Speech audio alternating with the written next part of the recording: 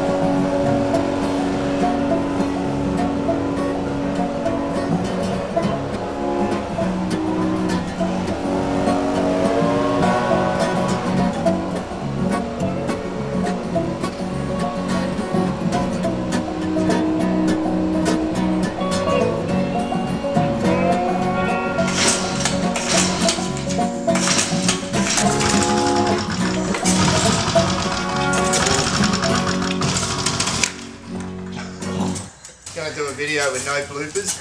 You've got a 10 minute blooper right here,